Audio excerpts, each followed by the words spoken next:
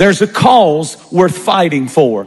Our families are worth fighting for. It's not easy. It's not easy to hold your family together. It's not easy to raise children in the times in which we live. Everything seems to be against the family and against the home. But when we decide that our families are a cause worth fighting for, God said, then I will fight for you. Fight for your family. Fight for your marriage. Don't give up on it. Fight for it. Fight for your wife. Fight for your husband. Fight for your sons and your daughters because Satan is on a rampage and he, he wants to destroy the church, but he can't destroy the church without destroying the home.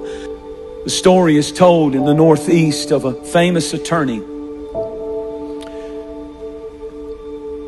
who had an alcohol problem.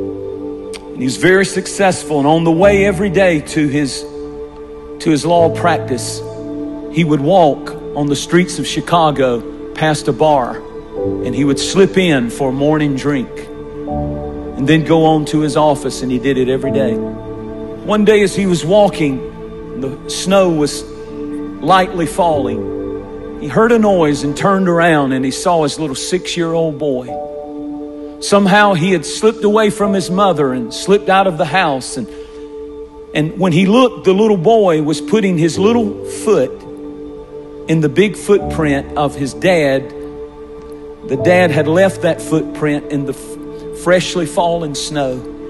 And the little boy would put his little foot in the footprint of the big steps that his dad was taking. And suddenly, as he was standing outside the door of that bar, and he looked back and saw that that boy was stepping in every one of his footsteps. And he was smitten with conviction, and he ran and scooped the boy up and took him home and put him in the arms of his mother and ran downstairs. And he says he fell to his knees and he began to weep and cry. And he said, Oh God, help me to never, ever again allow my footsteps to lead my children to a bar, but let my footsteps lead my children to you. Enjoy your family.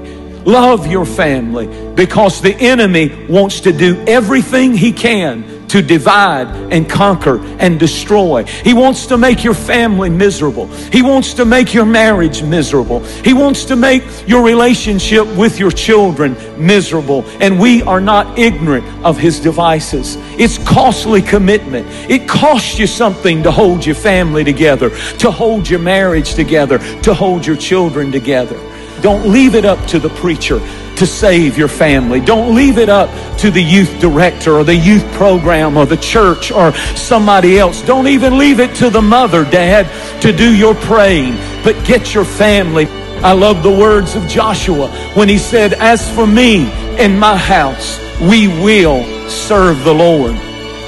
I want to say to parents and people who are here, fight for your family stay in their business and stay in their lives. And when you have to stand up and correct them, correct them. If, if, if it hinders and hurts and you have all kinds of stuff going on, stand for what's right. Fight for what's right. Stand on the truth. And you know what? They may go wild, they may get crazy, and they may get mad, they may go off. But if you have raised them right, if you have raised them in the house, you don't have to be a perfect family. But if you've done your best to, to bring them to the house of God and to serve the Lord before them. And you've done your best to have God's presence in your home and in your life. There's something that gets on your family that they will never be ever, ever, ever be able to get away from. As a matter of fact, I just want to tell you there's nothing more important than what you're doing right now. It's more important than a ball game. It's more important. We've lost that. See, we don't believe this old stuff anymore. But I'm going to tell you beware of dangerous distractions that take you and your family away at critical times when the children need to be in the house of God. We're fighting for our families. Every time we get up and and bring them to church. Every time we open the Bible and pray, we're fighting for our families from this day forward. I want to ask you a question. Where are your footprints leading? All that's going to matter when you are, are on your deathbed is, is where did my footprints lead them? If you're leading your children to Jesus, if you're leading them to serve Him above all, prioritizing Him above all,